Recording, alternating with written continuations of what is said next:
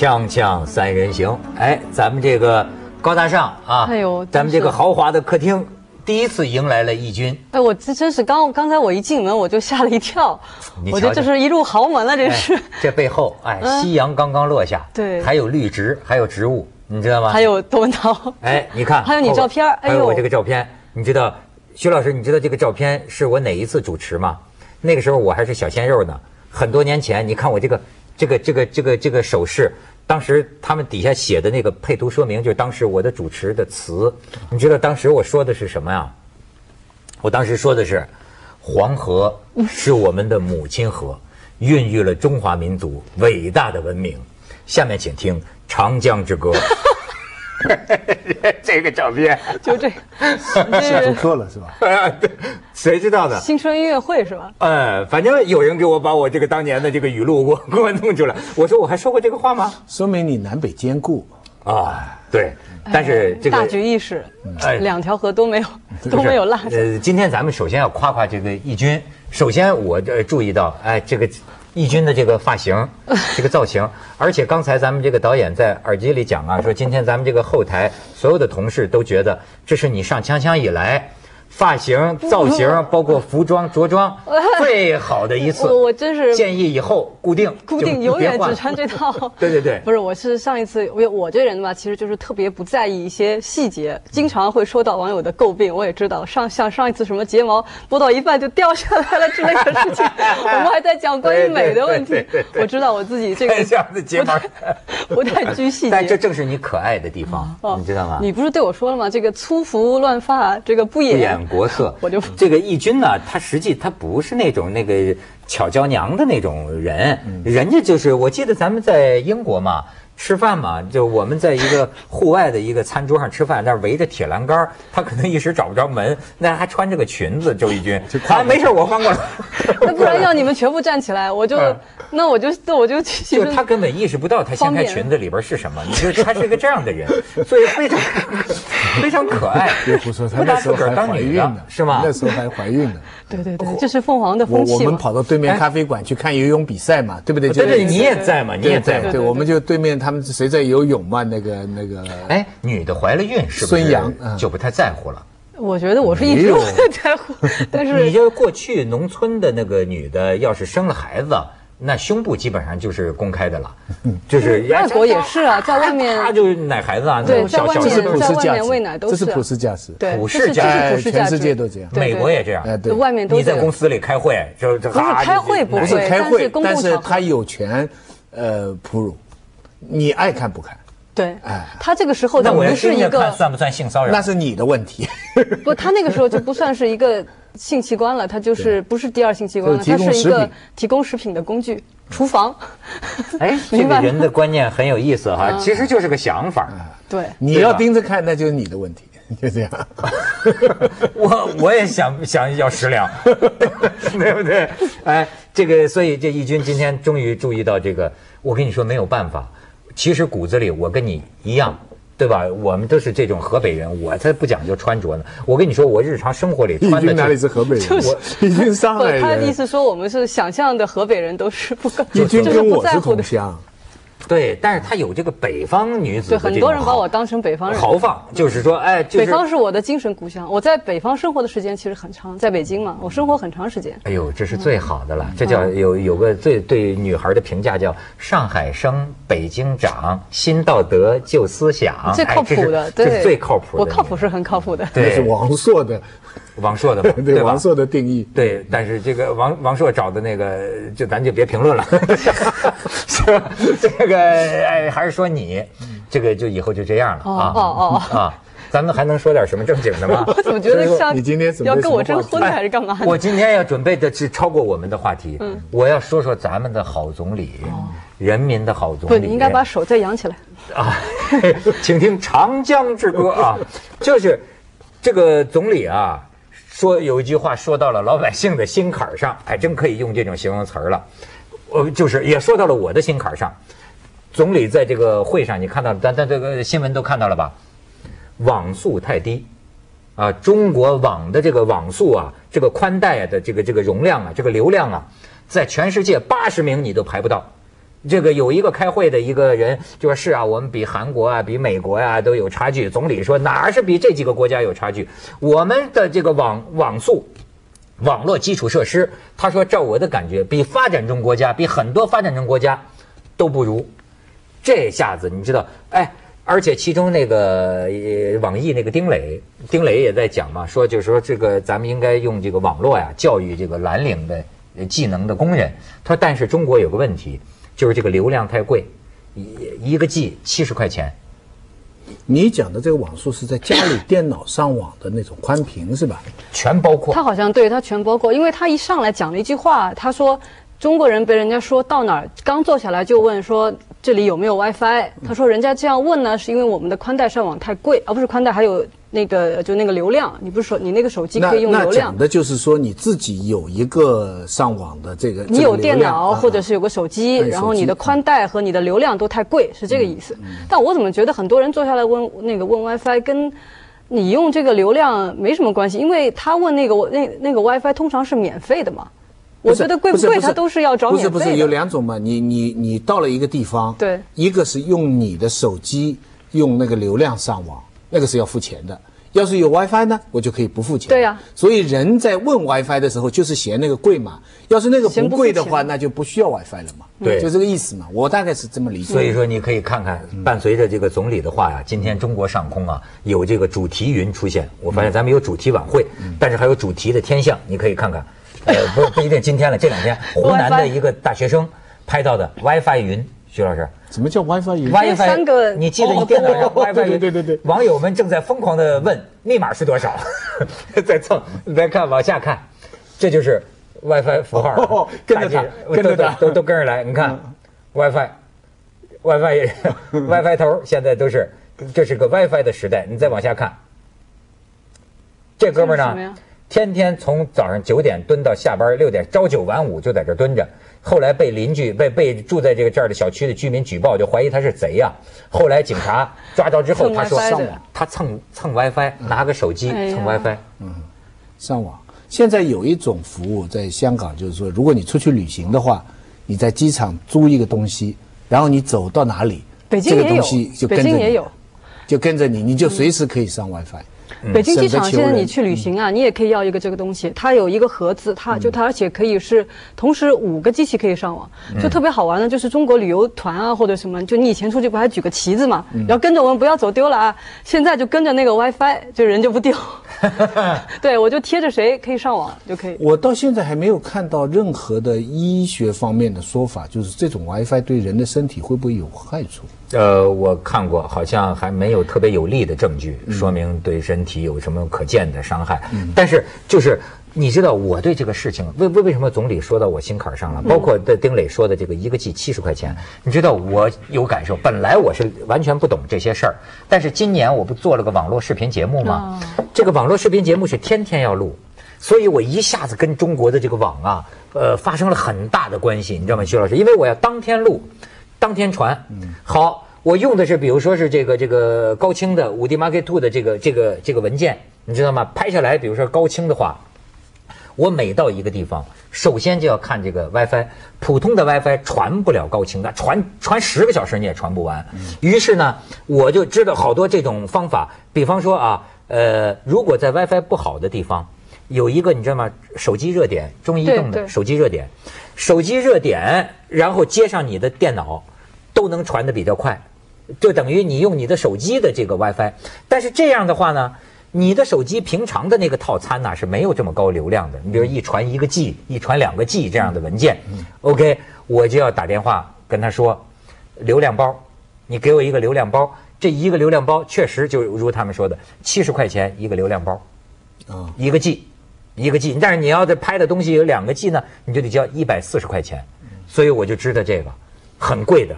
实际中国的这个这个这个网啊，要不说我跟你说，真没办法，咱们这国家还冒黄呃不是不是说要说世界第几了，很多事情就跟这个网一样，你是一等的收费，可是你是三等的服务，你知道吗？就即便说我在家里。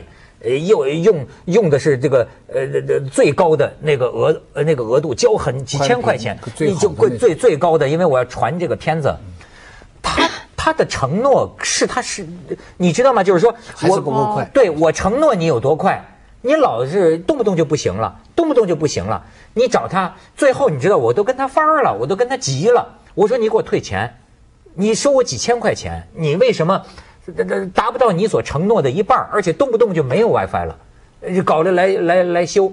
他你看中国的服务业永远可以推责任，本能就是推卸责任。他说，哎，我们接到你们家的这个啊，是能达到，比如说一千兆还是什么的，是能达到这么高的。他但是呢，你们家的线不行，不是你们家线不行，我们接到你们家的线是好的吧？但是不好，嗯是因为中国的网不好，你明白吗？中国的这个整个的这个这个流量啊，呃这个什么呃网络基础设施不好，所以呢，我跟你承诺的经常也做不到。他就跟你说一些你也听不懂的理由，就给你给给你搞这个。哎但是中国的这个网络的基础设施，我还以前我还真没有体会到像就像你说的有这么差，可能我没有传过那么大的片子啊，因为我以前。我就我印象当中，反而是美就美国人经常觉得中国人的这方面基础设施建设还蛮好的，美国反而是好多地方，它那个地铁啊，就是好几个就是最最就人流最最最最多的站是几年前刚刚能够通手机信号，有的美国记者还跟我说，他从那儿他们传东西啊什么的反而很慢，在中国说那么快，你们中国的基础设施怎么好？但是现在我觉得是好多时候就是这个需求量一下子上去了吧？对它好多地方其实因为网络的，你上网它要一个什么什么桩啊，这种东西是很复杂的。嗯，以前在香港曾经有一家这个公司嘛，他就是为了吸引人，他说我这个可以达到有多快多快，他就想在街上装更多的这个就是这个桩子，结果呢，他这个桩子是占了很多窨井盖的那个面积。后来后来就打官司嘛，就是就然后就上法庭，政府勒令他要全部拆掉，也变成了就是他承诺你我都买了那个套餐了，后来还是不行。你别说都是这样子的问题。人家英美国家的是有规管的，就比比方说，我记得就是说，呃，比如说他呃英文有个叫 up to。Up to 指的就是，比如说这个网络商，我承诺你最高可以达到这么多的这个流量，但是呢，当然事实上他承诺的你不可能都达到。比如说英国的这个法规就规定，你必须有百分之十的用户达到了你说的这个最高 up to 你才可以在广告里说 up to，就你能最高。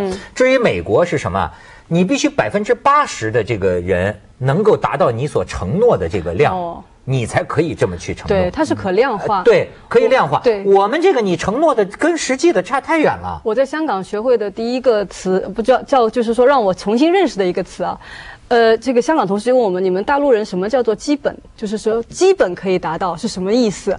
我说就差不多吧。他 说什么叫差不多？他说，比如说我们这儿啊，一个就是呃，就是哪里有火灾了，这个就这个消防车，我承诺多少分钟能到那儿，对吧？我一年可以去统计我多少分钟之内可以到，那我可以告诉你我的达到率是百分之九十八，或者我或者是更更高，或者是更低，从来不能用基本。那你基本达到，他说那不就是没达到吗？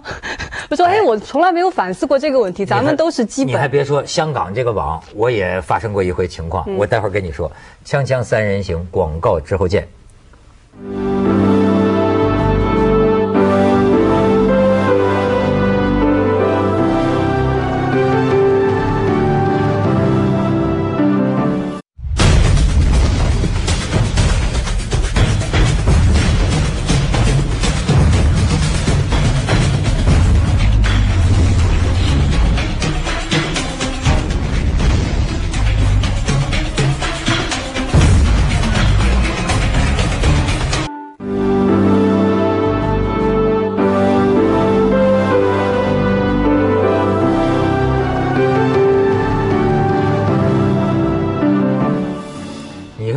要是不做这个网络视频啊，我天天需要传，我都不知道这个网络里边这么多的事儿。我就不知道。你就不知道吧？你看我在香港也是为了传节目，我定了一个就是最高流量的这个哈。香港，哎，全世界第一是韩国，嗯，香港也是前前几名之内。我今天看到的报道是网速最高是香港，呃，对，香呃港，第二是新加坡啊中国排在四十三位，对，美国排在十七还是十八位？哦那不慢这是没22没没位好像是。哎，就是没想到，就是他们认为美国是发源地，对。为什么呃没有速度不它没有那么快哎对。但是香港这样举世无双的这个速度，你知道，我第一次把我这个节目传到内地的这个网站，好家伙，传二十个小时，传一个 G，传两个 G，可比牛还慢。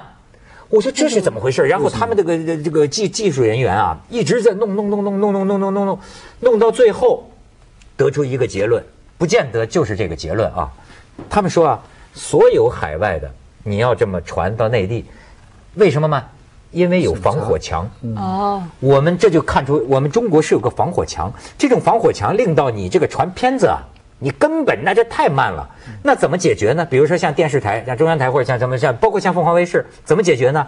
你要申请一个专线，你要申请一个专线，这个专线是等于是专门为了你，你要租用这个专线，这也不便宜，你才能从海外向内地传东西。所以现在你知道我就变成什么了呢？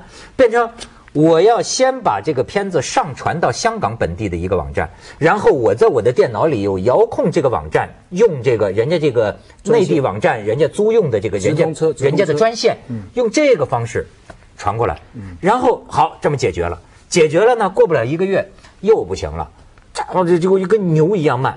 然后呢，我就跟这个香港的这个网络商的打，香港网络商服务倒是很干嘛，这夸夸夸就是这弄弄说我们查过了，完全正常。但是为什么就是传不过去？最后我就找了一个马家辉给我推荐的，你知道现在民间很多电脑高手，对其实挺好的，他就是也呃干点私活你给他打电话，他到你家里来，哎呀，这真是高手，咵给我一弄，说你呀、WiFi 被人盗用，啊，你刚才那个那个 WiFi，因为他侦测到啊，他说就跟专线，呃，他说就在你的附近，因为你用的这个是高流量的这个，所以呢，呃，我说他怎么知道我的密码？他说嗨，这个就是完全不是问题，就是说破解你的 WiFi 的密码。所以，所以说就在他说附近，就在你附近一百米之内。他说，但是警察也不知道是谁，因为这些人有他的这种技术，但是他就蹭蹭你的这个用你的 WiFi。我说他蹭我这个 WiFi 有啥？好处呢？对不对？好就免费了。你看，我就知道更多的。他说：“你知道吗？现在怎么样能够攻陷政府的一个网站？就是这些人呐，他呀，就是弄了很多的人的这个 WiFi 之后，他操纵了很多个这个电脑，然后才能集中那么大的流量，一下子就是，比如说那个某个公司的网站。”某个政府的网站，你知道现在民间就有收钱干这个的，收钱干这个就是说，你要我把哪个网站给你瘫痪了吗？你你要甚至一个竞争对手的网站，我给你瘫痪了吗？他靠什么能集聚起这么多啊？当然我不懂技术，我说的可能有误，基本是这么个道理，就是他盗用了很多东西，他才能凑够这么大的流量，然后集中攻击。这个让我想到我最近看一个电影嘛，那个《皇家特工》，就里面有个坏蛋，他就是给大家发免费的手那个手机卡，就给全世界的人发嘛，就您可能看，然后是永远免费电话和永远免费上网。就很多人都去换了嘛，换完以后他就可以同时，他就他就一发射一个什么东西，所有的人就被一种神经波给就是给操控，然后互相残杀了，就互相残杀，就是非这个网常络里荒诞的剧情，但是一点都不荒诞。对因为今天的这个网络世界啊，的确出现了这样的情况。你看我们现在买的手机，我们现在用了 iPad，它隔了几个月就叫你更新一个 program，隔几个月就叫你更新，对不对？当你一更新的时候，我们都是全部是同步的。对你说的好，我们是跟最新的科技同步，但是我这个电脑里边所有我的照片、故事、这个当所有我的东西，这都是透明的，透明的谁都可以拿去的。透明的，没有秘密。对不对啊就我这个电脑高手跟我讲啊，就是说你现在的，就是说他控制你的 WiFi。我说为什么用这么大的？他就他说很奇怪，这个人用这么大的流量，所以他分析可能是搞这种僵尸。嗯。另外他就说呢，我说那他是不是能够侵入我的电脑？他说当然，如果他想的话，你的一切。然后他说现在香港前一阵儿，你知道还有一个什么？有一种一个充电器，你的你的手机，你知道你要小心，好像是个充电器，实际上只要一插，你的手机就被人家全部都都都都都都都弄过去了里边的内容。所以你说现在有什么秘密？而且他说你，我现在觉得像我们这种人都叫电脑盲。你真的是需要我我有一种这个对你忠心耿耿的一个电脑高手，他随时来帮你看一看，要不然他说你看一个让你下载个更新呐、哎，有时候跳出来让你弄个什么，你有时候你点，对对对你这一点你就中了招了。你不懂的人，你完全不懂。有人讲这个人类就是人类毁灭啊，最后就是人脑相连。我们现在啊，你想已经到了这个可穿戴设备了，对我们在将来技术上可能就是达到了一个人脑植入芯片相连对，最后就是人脑相连。嗯我去看了那个苹果的手表，嗯我绝对也不感兴趣。他就傻乎乎的就在那里，等于是你就不断的被监控，本来是被手机监控，现在呢被一个手表监控，就是说什么东西都一天到晚在提醒你，你发什么东西都跟人家连在一起，很可怕。而且这里边有商业利益，有私隐空间，还有政治斗争。现在中香港中文大学我知道在深圳办分校，争来争去，现在最大的问题不是校舍，不是教材，是用不用西方，还不是生源，是一个叫 VPN。啊，VPN 啊哎听说这个对吧？VPN 呃，这个问了内行什么是 VPN，其实这个都很简单的概念，就是说如果他用自己的一套呢，他跟在香港的中文大学一样，就是说你在香港中文大学你可以上 Google，你可以用 Gmail，在深圳也可以用，但是呢，他根据内地的法令呢，他要用内地的一个 VPN 呢就不能用，对吧？要要跟深圳大学一样。那跟深圳大学一样，那中文大学又觉得丧失了他的这个学术自由啊，有什么权利？为了这个 VPN 就一直在争，一直在争。锵锵三人行广告之后见。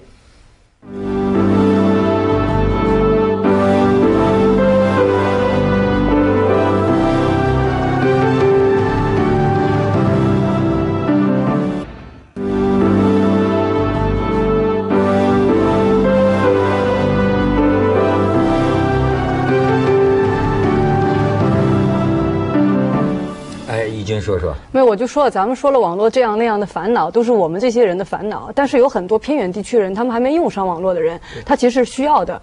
比如说，我上次看到，我真的不记得是美国一个什么机构了，他们在非洲的这种偏远村落投放一种这个发射器，让就是村里的人啊，给他一个简单的手机，他也可以上网。特别呢，他们是发现是给一些女的，就是因为他们那儿很落后啊，女的是没有没有办法去工作的，那么她在家里呢就可以玩这个手机银行。她再可以去理财，炒股票，啊。哎，就是一下子改善了，就是当地就是女人的这个权利也好啊，社会面貌也好，就而且他们是发现给女人钱，他们会用于孩子的教育，还有包括给他们一些很简单的这个就是电脑就是电这个电脑上备呃这个设备，那么孩子就可以上去去就是他接触一些最现代的这种这个知识等等。